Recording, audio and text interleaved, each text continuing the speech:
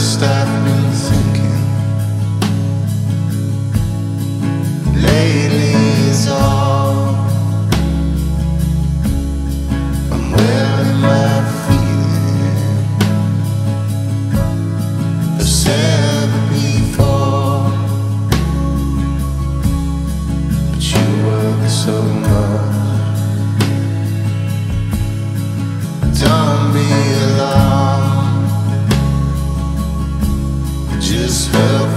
I fell from the ceiling.